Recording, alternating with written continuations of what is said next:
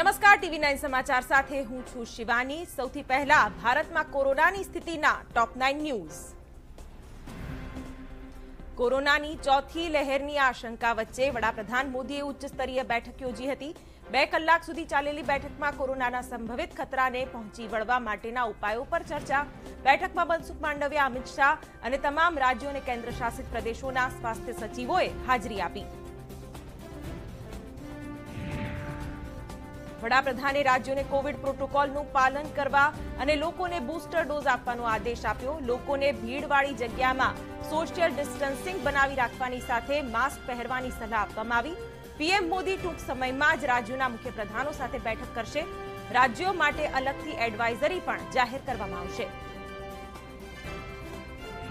સ્વાસ્થ્ય પ્રધાન મનસુખ માંડવિયાએ કહ્યું, આવનારા તહેવારોને જોતા સતર્ક રહેવું જરૂરી છે.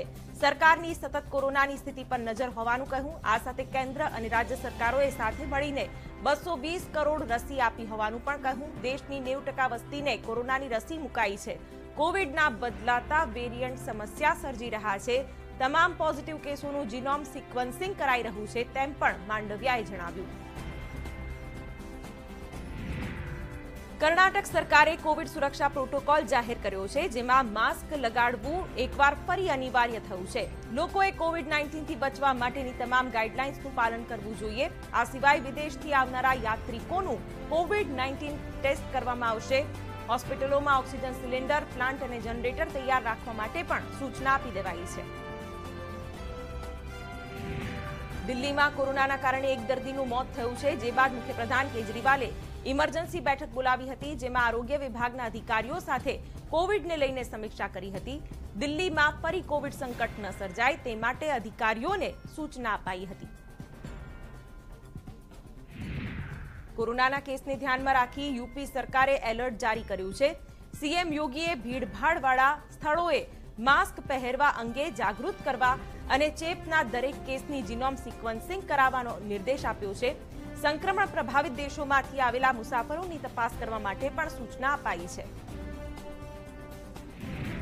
વિશ્વમાં કોરોનાના વધતા કેસ વચ્ચે ભારત પણ એલર્ટ મોડ પર આવી ગયું છે. સંસદમાં પણ માસ્ક ફરજિયાત કરવામાં આવ્યા.